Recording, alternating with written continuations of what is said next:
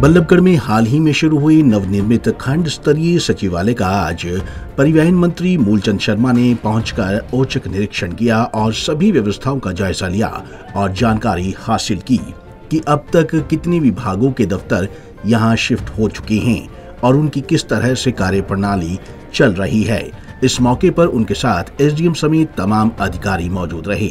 आपको बता दें कि एक महीने पहले हरियाणा के मुख्यमंत्री मनोहर लाल खट्टर ने खंड स्तरीय शुभारंभ किया था। मंत्री के मुताबिक निरीक्षण में कोई भी खामी अभी तक नहीं पाई गई है, बल्कि सभी कार्य सुचारू रूप से चल रहे हैं। औचक निरीक्षण के दौरान पत्रकारों से बातचीत करते हुए परिवहन मंत्री मूलचंद शर्मा ने कहा कि बल्लभगढ़ में मिनी लघु सचिवालय का एक महीने पहले मुख्यमंत्री ने शुभारंभ किया था और आज मैं अचानक इसका औचक निरीक्षण करने के लिए यहाँ पहुँचा हूँ।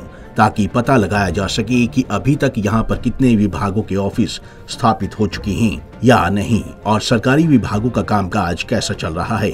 उन्होंने बताया कि औचक निरीक्षण के दौरान यहाँ पाया गया कि लगभग सभी विभागों के अधिकारी और कर्मचारी यहाँ सुचारू रूप से काम कर रहे हैं, और यहाँ कोई समस्या देखने को नहीं मिली है, जबकि अभी कुछ विभागों की शिफ्टिंग होना यहाँ बाकी है, जो जल्द ही यहाँ शिफ्ट हो जाएँगे।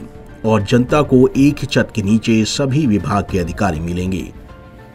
एक महीना के बाद मुख्यमंत्री ने इसका उद्घाटन किया था। जी। और मैं तो एकदम आया अभी एक बार सेक्रेटरीट में ऑफ़िस कहाँ शिफ्ट हुए हैं और सबसे बढ़िया जगह अपने बल्लौड़ की बनी है।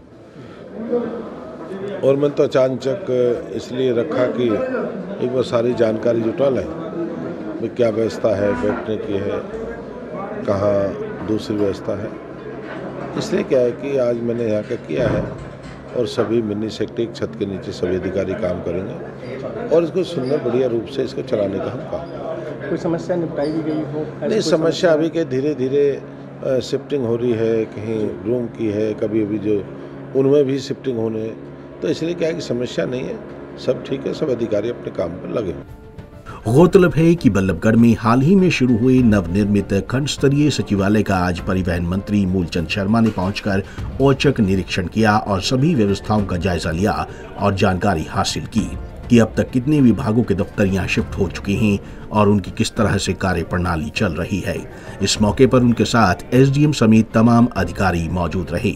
आपको बता दें कि एक महीना पहले ही हरियाणा के मुख्यमंत्री मनोहर लाल खट्टर ने खंड स्तरीय शुभारंभ किया था।